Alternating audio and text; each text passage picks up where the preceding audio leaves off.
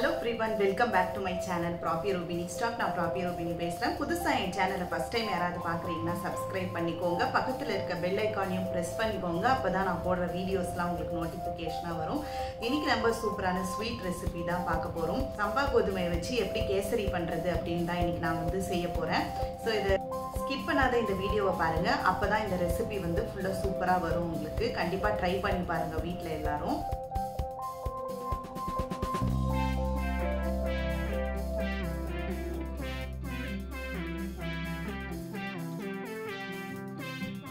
இன்றைக்கி நம்ம உருளியில் தான் பண்ண போகிறோம் சம்பா கோதுமை கேசரி. இது பண்ணுறதுக்கு தேவையான பொருள் பார்த்திங்கன்னா முந்திரி வந்து நம்ம ஒரு நூறு கிராம் அளவுக்கு எடுத்து வச்சுக்கலாம். அதுக்கப்புறம் பார்த்திங்கன்னா ஏலக்காவை நல்லா நசுக்கி வச்சுக்கலாம். ஏலக்காவில் பார்த்திங்கன்னா உங்களுக்கு தோலில் தான் வந்து வாசனையே.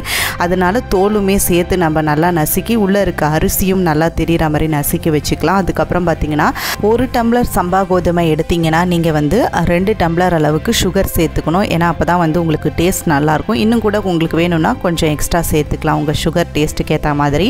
இப்போ பார்த்திங்கன்னா இதுக்கு நம்ம ஒரு மூணு டம்ளர் அளவுக்கு நல்லா வந்து வெந்நீர் நம்ம சுட பண்ணி எடுத்து வச்சுக்க போகிறோம் அது வந்து கேசரி கலரும் போது நம்ம விட்டு கலரும் போது நல்லா வந்து சீக்கிரமாக நம்மளுக்கு வெந்து வரும். அதுக்கு தான் இது.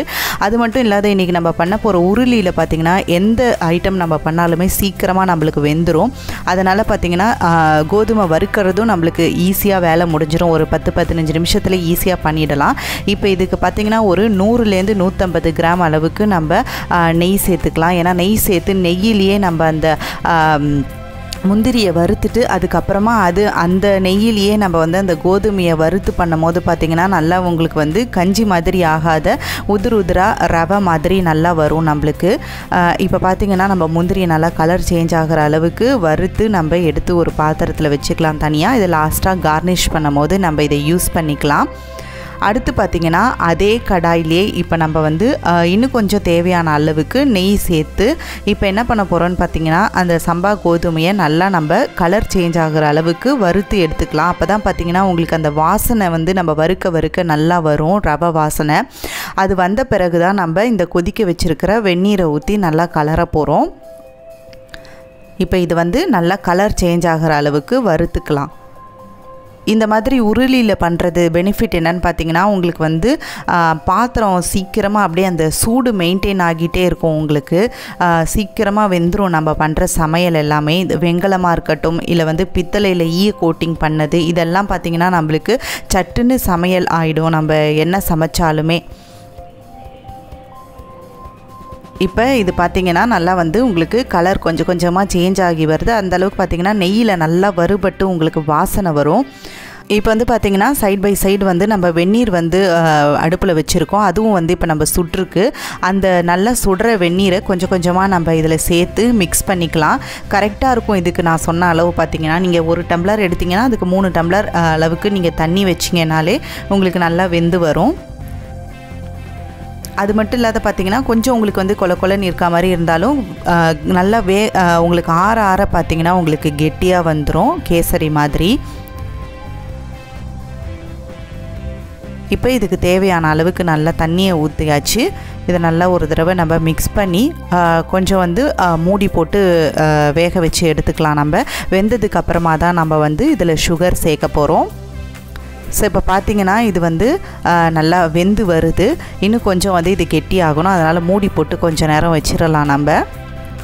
ஸோ இப்போ பார்த்தீங்கன்னா இது வந்து ஒரு கிட்டத்தட்ட ஒரு ஃபைவ் மினிட்ஸ் டென் மினிட்ஸ்லேயே உங்களுக்கு நல்லா வெந்து வந்துருச்சு. இப்போ நம்ம இதில் தேவையான அளவுக்கு சர்க்கரை சேர்த்துக்கலாம். எப்பயுமே பார்த்திங்கன்னா நம்ம சுகரோ வெல்லமோ சேர்க்கும் போது பார்த்திங்கன்னா அரிசியோ இந்த மாதிரி ரவையோ எல்லாமே வெந்ததுக்கு அப்புறமா தான் நம்ம வந்து சுகரை சேர்க்கணும். இப்போ ஒரு டம்ளருக்கு ரெண்டு டம்ளர் அளவுக்கு சர்க்கரை சொல்லியிருந்தேன். அந்த சர்க்கரையை நம்ம இப்போ சேர்த்துடலாம். நல்லா வந்து உங்களுக்கு வந்து திருப்பி வந்து தண்ணி ஓடுற மாதிரி இருக்கும். நீர்த்தா மாதிரி. அதுக்கப்புறம் பார்த்திங்கன்னா கொஞ்சம் நேரம் நம்ம ஒரு பத்து நிமிஷம் அந்த சர்க்கரையெல்லாம் நல்லா கெட்டியானதுக்கப்புறம் பார்த்திங்கன்னா உங்களுக்கு நல்ல ஒரு கேசரி கன்சிஸ்டன்சிக்கு வந்துடும் திருப்பி.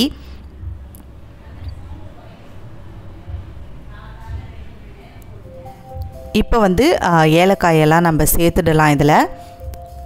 ஏலக்காய் பார்த்தீங்கன்னா நம்ம நசுக்கி வச்சது. சில பேர் பார்த்திங்கன்னா தோலெல்லாம் எடுத்துகிட்டு போடுவாங்க. பட் தோலில் தான் பார்த்தீங்கன்னா உங்களுக்கு அதிகமான ஃப்ளேவர்ஸ் இருக்கும். அதனால் இனிமேல் தோலையும் வீண் பண்ணாத.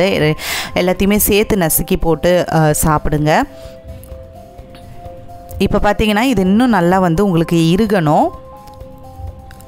இது ரெடி ஆனதுக்கப்புறம் எப்படி இருக்குன்னு காமிக்கிறேன். இப்போ பார்த்தீங்கன்னா நல்லா உங்களுக்கு ரெடி ஆயிடுச்சு. இதை நம்ம ஆஃப் பண்ணிட்டோன்னா அதுவே வந்து நம்மளுக்கு ஆற ஆற கெட்டி ஆகிடும் இப்போ ஆஃப் பண்ண அப்புறம் பார்த்தீங்கன்னா இந்த நம்ம வந்து வ- உருளியில் பண்ணதுனால ஆஃப் பண்ணதுக்கு அப்புறமும் கூட கொதிக்குது பாருங்கள் நல்லா நம்ம முந்திரியை போட்டு கார்னிஷ் பண்ணி இறக்கிட்டோன்னா நம்மளோட சம்பா கோதுமை கேசரி சூப்பராக ரெடி ஆயிரும். கண்டிப்பாக இதை வந்து உங்கள் வீட்டிலலாம் ட்ரை பண்ணி பாருங்கள் ட்ரை பண்ணி பார்த்துட்டு எப்படி இருக்குன்னு எனக்கு மறக்காமல் கமெண்ட்டில் மென்ஷன் பண்ணுங்கள்